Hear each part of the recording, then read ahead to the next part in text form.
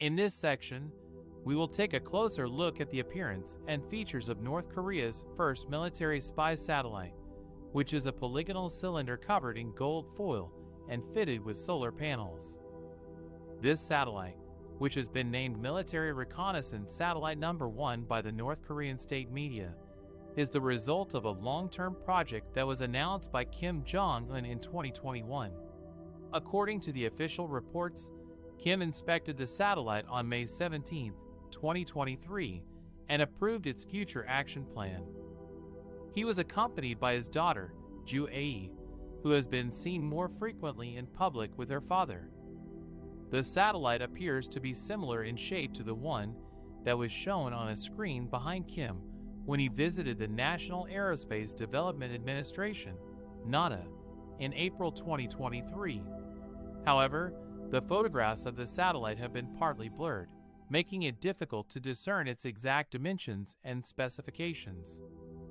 The gold foil that covers the satellite is likely to be a thermal insulation material that protects the satellite from extreme temperatures in space. The solar panels are used to generate electricity for the satellite's operations.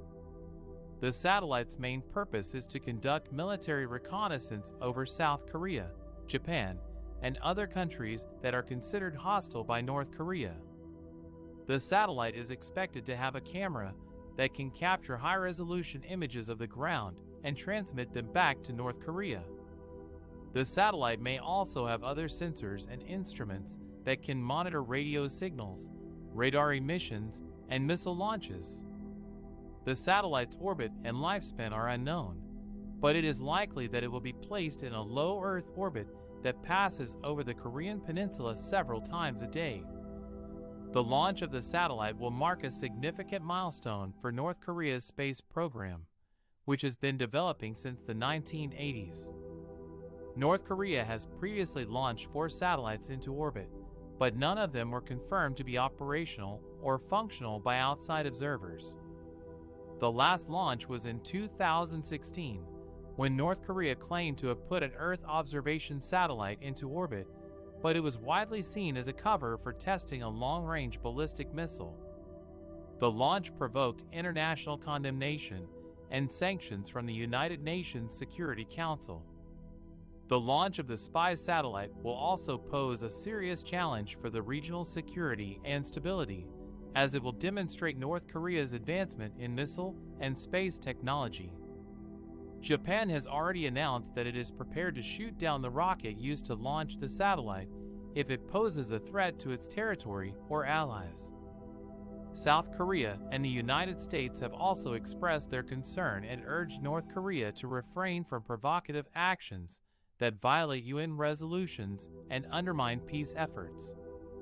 However, North Korea has insisted that it has a sovereign right to pursue its space program for peaceful purposes and self defense. North Korea's spy satellite launch is a provocative move that has alarmed its neighbors and the international community. The launch would violate UN Security Council resolutions that ban North Korea from using ballistic missile technology for any purpose. It would also demonstrate North Korea's growing capabilities in developing weapons of mass destruction and delivery systems. The launch would pose a threat to regional security and stability, as it would enable North Korea to spy on its rivals and potentially target them with nuclear or conventional weapons. The satellite could also interfere with the communication and navigation systems of other countries, causing disruptions and accidents. The launch has prompted Japan to prepare to shoot down the rocket if necessary, as it fears that the rocket or its debris could fall on its territory or waters. Japan has deployed missile defense systems and naval vessels around the expected flight path of the rocket. Japan has also urged North Korea to refrain from the launch and abide by its international obligations. The launch has also drawn strong condemnation from the United States and South Korea, which have been conducting joint military exercises and strengthening their nuclear deterrence strategies to cope with North Korea's threats. The US and South Korea have warned North Korea of serious consequences if it proceeds with the launch, and have called for more sanctions and pressure on the regime.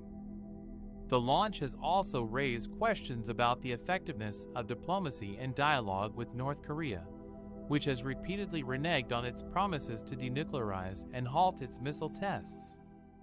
The launch would undermine the efforts of China and Russia, which have been calling for a resumption of talks and a balanced approach to resolving the nuclear issue.